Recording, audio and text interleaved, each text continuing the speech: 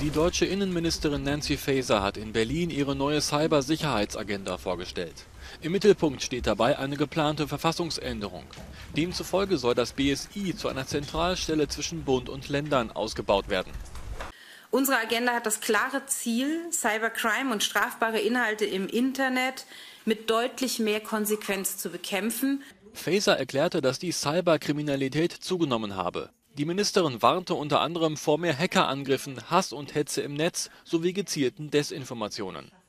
Wir müssen auf IT-Infrastrukturen einwirken können, die für einen Angriff genutzt werden. So können wir die Sicherheitsbehörden dann schwerwiegende Cyberangriffe verhindern, stoppen oder zumindest abschwächen. Hintergrund der neuen Strategie ist der Ukraine-Krieg. Weitere Maßnahmen seien deshalb die Einführung eines zentralen Videokonferenzsystems für die Bundesverwaltung. Bisher lag die Verantwortung für Cybersicherheit bei den Ländern. Das sei laut Faeser nicht mehr zeitgemäß. In den vergangenen zwei Jahren haben Cyberangriffe etwa auf Krankenhäuser und Behörden in Deutschland für erhebliche Probleme gesorgt.